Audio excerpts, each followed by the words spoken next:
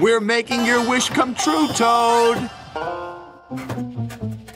Follow the leader, yelled the freight cars. Toad was still in a state of shock, so he didn't know what to think. And he couldn't ask the conductor. He had jumped clear.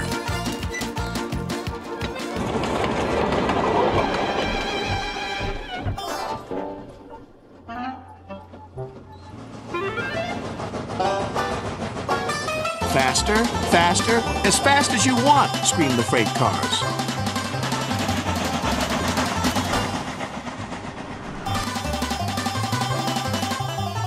Suddenly, Toad found it fun. But the fun was soon over. A crossing lay ahead and the gates were closed. Toad couldn't stop. Worse still, Toad now realized he was on the wrong track. There ahead was Gordon. The signalman changed the points just in time.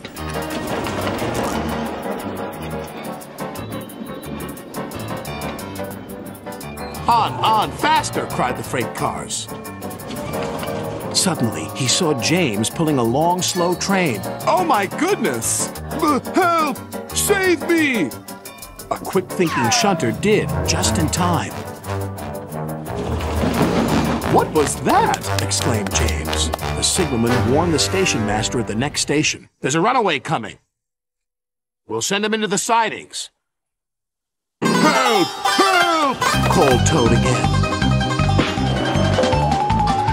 Toad saw some buffers. Those'll stop me!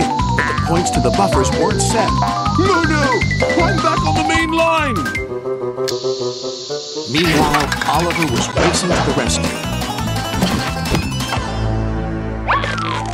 I must catch Toad. I must. Toad sped past Henry. More danger lay ahead. Men were working on a bridge, but they had been warned by the runaway Toad and his freight cars. They diverted him onto old sidings, straight into a muddy pool.